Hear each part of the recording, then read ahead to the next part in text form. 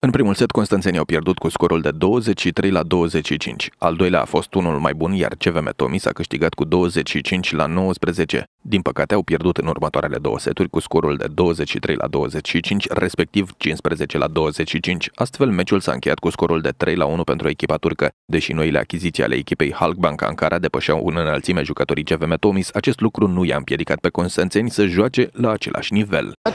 Obiectivul nostru este să câștigăm fiecare meci pe care îl disputăm discutăm și să trecem mai departe de grupe. Cred că avem o echipă destul de puternică și că suntem favoriții grupei.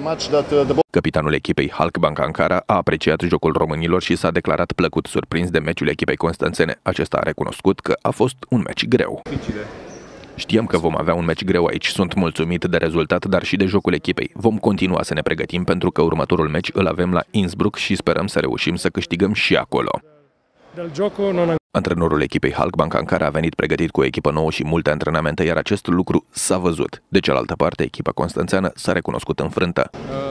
Un meci dificil, un meci în care ne-am dorit să câștigăm, dar nu am reușit. Echipa turcă Halkbank a venit cu forțe proprii. În vară au făcut transferuri care într-adevăr se văd. Puteam mai mult, dar nu a fost să fie.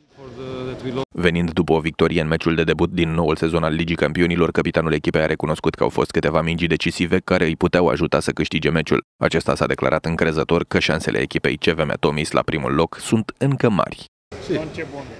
Am spus de la început că echipa turcă va porni cu prima șansă deoarece aceștia au 3-4 jucători care vor face diferența. Nu știu dacă ar putea să câștige Liga Campionilor în acest sezon, dar va rămâne cu lotul actual. Cred că Halbank va avea ceva probleme cu echipele din Rusia și Italia. Cred că Halbank va încerca să aducă Final Four-ul la Ankara, iar pe teren propriu îi va fi mai ușor.